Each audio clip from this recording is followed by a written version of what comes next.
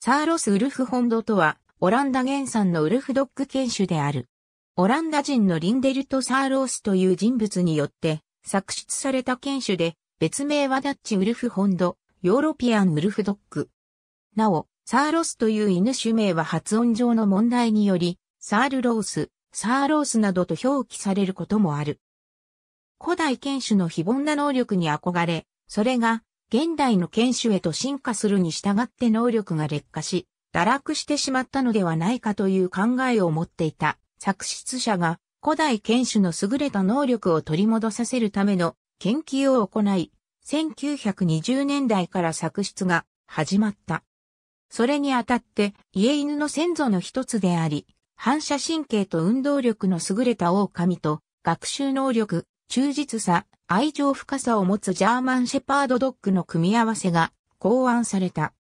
作出はまずオスのジャーマンシェパードとメスの狼を交配させ、それによって生まれた反狼をさらにオス親のジャーマンシェパードと一度だけ戻し交配させ、それによって生まれた狼の血を4分の1引く犬を元に交配を進めて作出された。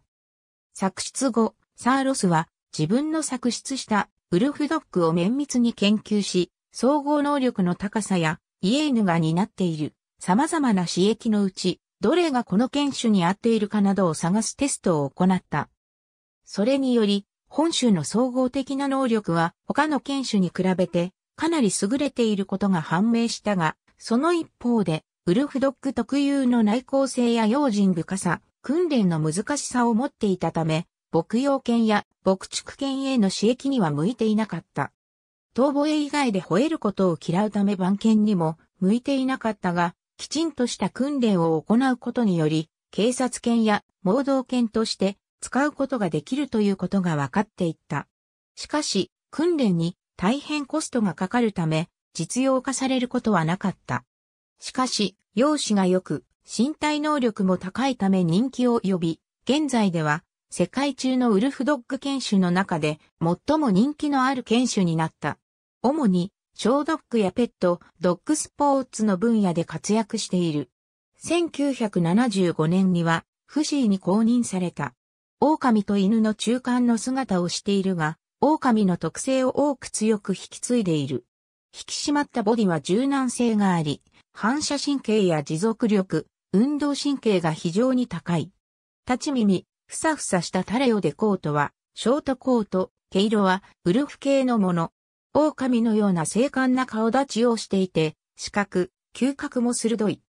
体高60から75センチメートル、体重36から41キログラムの大型犬で、性格は内向的で警戒心が強いが、主人や家族に対しては愛情深く、忠実で非常に優しい。遠吠え以外には滅多に吠えず、遺伝的疾患もほとんどない。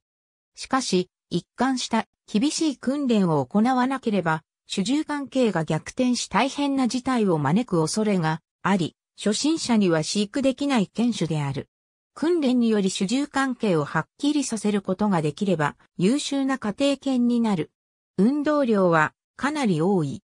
ちなみに、通常家犬の繁殖期は年に2から3回であるが、サーロスなどのウルフドッグ犬種や原始的な古代犬種などは年に一度しかない。ただし、サーロスは通常一服で5から15頭の子犬を産む。ありがとうございます。